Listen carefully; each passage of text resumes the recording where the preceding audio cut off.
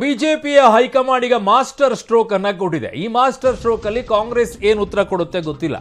ರಾಜ್ಯ ಬಿಜೆಪಿಯಲ್ಲಿ B S Y power. B S Y ಇಲ್ಲದೆ ಏನು ಆಗಲ್ಲ ಅನ್ನುವಂಥದ್ದು ಮತ್ತೊಂದು ಪ್ರೂವ್ ಈಗ. ಬಿಜೆಪಿ ಹೈಕಮಾಂಡ್ನ ಎರಡನೇ ಅತಿ ದೊಡ್ಡ ನೀತಿ ನಿರೂಪಣೆ ಟಿಕೆಟ್, ಹಂಚಿಕೆ ಸೇರಿದಂತೆ ದೊಡ್ಡ ತೀರ್ಮಾನ ಆಗುವಂತಹ ಸಮಿತಿ ಇದು. ಎರಡು ಸಮಿತಿಯ ಟಾಪ್ ಫೈವ್ ಸ್ಥಾನದಲ್ಲಿ ಬಿ ಎಸ್ ವೈಗೆ ಮಣೆಯನ್ನು ಹಾಕಲಾಗಿದೆ. ಈ ಮೂಲಕ ಬಿ ಎಸ್ ವೈ ಅನ್ನ ಕೈ ಬಿಟ್ಟಿಲ್ಲ, ಕೈ ಬಿಡಲ್ಲ ಅನ್ನುವಂತಹ ಸಂದೇಶವನ್ನು ರವಾನೆ ಮಾಡಿದ್ದಾರೆ. ರಾಜ್ಯ ಬಿಜೆಪಿಯಲ್ಲಿ ಬಿಎಸ್ವೈ ಪವರ್ ಮತ್ತೆ ಕಾಣಿಸ್ತಾ ಇದೆ.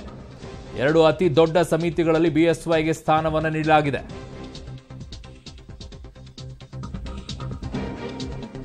ಎರಡು ಸಮಿತಿಯ ಟಾಪ್ ಫೈವ್ ಸ್ಥಾನದಲ್ಲಿ ಯಡಿಯೂರಪ್ಪನವರಿಗೆ ಮಣೆ ಹಾಕಲಾಗಿದೆ. ಇತ್ತೀಚಿನ ಬೆಳವಣಿಗೆಗಳನ್ನು ಗಮನಿಸಿಕೊಳ್ಳಿ. ಒಂದು ಕಡೆಗೆ ಯಡಿಯೂರಪ್ಪನವ್ರನ್ನ ಮುಖ್ಯಮಂತ್ರಿ ಸ್ಥಾನದಿಂದ ಕೆಳಗಿಳಿಸಿ ಒಂದು ವರ್ಷ ಆಯಿತು. ಅದಾದ ನಂತರ ಯಡಿಯೂರಪ್ಪನವರು ಅಲ್ಲಲ್ಲಿ ಒಂದು ಸ್ಟೇಟ್ಮೆಂಟ್ಗಳನ್ನು ಕೊಡ್ತಾ ಇದ್ರು. ಅದಾದ ನಂತರ ಸಡನ್ ಆಗಿ ಇತ್ತೀಚೆಗೆ ಶಿವಮೊಗ್ಗದ ಸ್ಪರ್ಧೆ ಮಾಡೋದಿಲ್ಲ, ಶಿಕಾರಿಪುರದಿಂದ. ವಿಜೇಂದ್ರನ ನಿಲ್ಲಿಸ್ತೀನಿ ಅಂತ ಹೇಳಿ ಅನೌನ್ಸ್ ಮಾಡ್ತಾರೆ. ರಾಜ್ಯ ಪ್ರವಾಸವನ್ನ ಮಾಡ್ತೀನಿ ಅಂತ ಅಂದಿದ್ರು. ಈ ಕಡೆ ಕಾಂಗ್ರೆಸ್ನಲ್ಲಿ ದಿಢೀರ್ ಅಂತ ಹೇಳಿ ನಿಮ್ಗೊಂದು ಮಾಸ್ ಲೀಡರ್ ಅನ್ನೋ ರೀತಿಯಲ್ಲಿ ಪ್ರಾಜೆಕ್ಟ್ ಮಾಡಕ್ ಶುರು ಮಾಡ್ಕೊಂಡಿದ್ರು. ಯಡಿಯೂ ಕಡೆಗೆ ಸಿದ್ದರಾಮಯ್ಯನವ್ರನ್ನ. ಈ ಕಡೆಗೆ ಯಡಿಯೂರಪ್ಪನವ್ರು ಯಾರು ಇಲ್ಲ. ಬಿಜೆಪಿಯಲ್ಲಿ ಮುಗಿದೋಯ್ತು ಅನ್ನುವಂಥದ್ದಿತ್ತು. ನನ್ನ ಪೊಲಿಟಿಕಲ್ ಬ್ಯೂರೋ ಮುಖ್ಯಸ್ಥರಾಗಿರುವಂತಹ ರವೀಶ್ ನನ್ನೊಂದಿಗೆ ದೂರವಾಣಿ ಸಂಪರ್ಕದಲ್ಲಿದ್ದಾರೆ. ರವೀಶ್, ಈಗ ಇದು ಅನಿವಾರ್ಯತೆನಾ ಅಥವಾ ರಿಸ್ಕ್ ತಗೊಳ್ಳೋದು ಬೇಡ ಅಂತಾನ? ಯಾವುದು ರವೀಶ್? ಅರುಣ್, ಪ್ರಮುಖವಾಗಿ ಇದನ್ನ ಎರಡ್ ಮೂರು ರೀತಿಯಲ್ಲೂ ಕೂಡ ಚರ್ಚೆಗೆ ಒಳಪಡಿಸಿದ್ದಾರೆ. ಪ್ರಮುಖವಾಗಿ ಯಡಿಯೂರಪ್ಪನವರು ಕೂಡ ಬಿಜೆಪಿ ಒಬ್ಬ ಪ್ರಬಲ ನಾಯಕ. ಇಂತಹ ಸಂದರ್ಭದಲ್ಲಿ ಪಕ್ಷಕ್ಕಾಗಿ ಮತ್ತೆ ದಕ್ಷಿಣ ಭಾರತದ ಅಧಿಕಾರಕ್ಕೆ ತಂದವರಲ್ಲಿ ಯಡಿಯೂರಪ್ಪನವರ ಪಾತ್ರವು ಕೂಡ ಬಹಳ ಮುಖ್ಯ. ಹಾಗಾಗಿ ಯಡಿಯೂರಪ್ಪನವರು ಎಲ್ಲೋ ಒಂದ್ ಕಡೆ ಗೌರವಯುತವಾಗಿ ನಿರ್ಗಮನ ಮಾಡುವಂತಹ ಸಂದರ್ಭದಲ್ಲಿ ಅವ್ರನ್ನ ಒಂದ್ ರೀತಿಯಲ್ಲಿ ಗೌರವಯುತವಾಗಿ ನಡೆಸ್ಕೊಂಡ್ರೆ ಅದು ಬೇರೆ ರೀತಿಯ ಮೆಸೇಜ್ ಪಾಸ್ ಆಗುತ್ತೆ ಅನ್ನೋ ದೃಷ್ಟಿಯಿಂದನೂ ಕೂಡ ಬಿಜೆಪಿ ಹೈಕಮಾಂಡ್ ಈ ರೀತಿಯ ನಿರ್ಧಾರಗಳನ್ನು ತೆಗೆದುಕೊಂಡಿರ್ಬೋದು ಅನ್ನೋದ್ರ ಬಗ್ಗೆ ಕೂಡ ಚರ್ಚೆ ಆಗ್ತಾ ಇದೆ. ಆ ಬಗ್ಗೆ ಕೂಡ ಪಕ್ಷದ ಒಳಗಡೆ ಮತ್ತೆ ರಾಜಕೀಯ ಪಡಸಾಲೆಯಲ್ಲಿ ಆ ಒಂದು ಹಂತದ ಚರ್ಚೆ ಇದೆ. ಇನ್ನೊಂದ್ ಕಡೆ ಎಲ್ಲ ಒಂದ್ ಕಡೆ ಎರಡ್ ಸಾವಿರದ ಇಪ್ಪತ್ತ್ ಮೂರರ ವಿಧಾನಸಭಾ ಚುನಾವಣೆಗೆ ಬಿಜೆಪಿ ಎಲ್ಲ ಒಂದ್ ಕಡೆ ನಾಯಕತ್ವದ ವಿಚಾರದಲ್ಲಿ ವೀಕ್ ಆಗ್ತಾ ಇದೆ. ಅಂದ್ರೆ ಸಂಘಟನೆ ಆಗಿರ್ಬೋದು ಮತ್ತು ಸರ್ಕಾರ ಆಗಿರ್ಬೋದು. ಯಡಿಯೂರಪ್ಪನವರ ಸ್ಥಾನವನ್ನ ತುಂಬುವಂತಹ ನಾಯಕತ್ವದ ಕೊರತೆ ಇದೆ ಅನ್ನೋದು ಕೂಡ ಬಿಜೆಪಿಗೆ ಅಂತಿರ್ಬೋದು. ಹಾಗಾಗಿ ಎಲ್ಲ ಒಂದ್ ಕಡೆ ಆ ಒಂದು ಬೇರೆ ರೀತಿಯ ಮೆಸೇಜ್ ಕೂಡ ಹೋಗಿ ನೆಗೆಟಿವ್ ಮೆಸೇಜ್ ಹೋದಂತ ಸಂದರ್ಭದಲ್ಲಿ ಬಿಜೆಪಿಗೆ ಇನ್ನಷ್ಟು ಮೈನಸ್ ಆಗ್ಬೋದು. ಹಾಗಾಗಿ ಅದನ್ನ ತುಂಬುವಂತ ಪ್ರಯತ್ನ ಮಾಡೋದಕ್ಕೆ ಬಿಜೆಪಿ ಹೈಕಮಾಂಡ್ ಯಡಿಯೂರಪ್ಪನವ್ರನ್ನ ಈ ಸ್ಥಾನದಲ್ಲಿ ಕೂರಿಸಿದೆ ಅನ್ನೋದ್ರ ಬಗ್ಗೆ ಕೂಡ ಚರ್ಚೆ ಆಗ್ತದೆ ಹಾಗಾಗಿ ಈ ಎರಡೂ ರೀತಿಯ ಚರ್ಚೆಗಳ ಬಗ್ಗೆ ಬೇರೆ ಬೇರೆ ರೀತಿಯ ಲೆಕ್ಕಾಚಾರಗಳಿದೆ.